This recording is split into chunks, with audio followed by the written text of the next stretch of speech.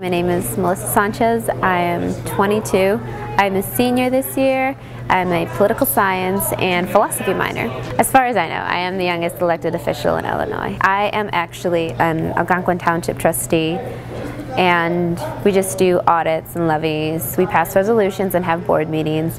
I was also elected by the constituents of Algonquin Township, so it was a very big competitive race. People at first don't really expect me, a college student, still to be an elected official, they kind of look at me and ask me why I want, wanted to do something, and I said I saw a problem, so I wanted to fix it, and I just followed my heart, and I think I kind of emanated. I think I kind of emanate to people what UIS stands for. Leadership lived. If you want something done, you should try to change it yourself. I do eventually want to run for higher office.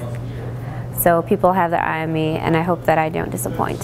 I am involved in quite a few organizations on campus. Today uh, we had our College Republicans at UIS meeting. I'm the secretary so I am on the e-board. Um, I do want to go to law school so I'm involved in Pre-Law Society, Catholic student organization that has mass every Sunday um, the organization of Latin American students. We've grown a lot this year. I love the opportunities that UIS gives me. I've had some great experiences with internships and working on campus. What UIS has taught me about leadership is that if you see a problem or an issue, even if you think that you're completely invisible to the world, just by giving it all you have, you can make a difference.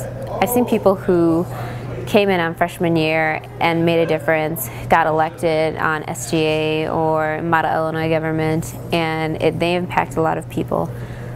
And that's why I think that, that's what I think University of Illinois at Springfield has taught me, that no matter how small or insignificant you think you are, you make a difference.